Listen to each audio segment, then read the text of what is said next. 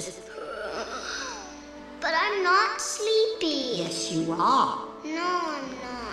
I work and I slave all day long, and for what?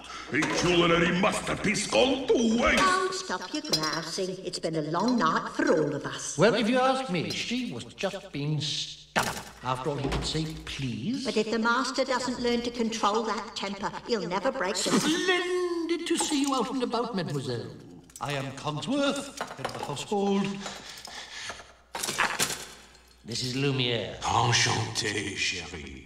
If there's anything we can do to make your stay more comfortable. Ow! I am a little hungry. You are?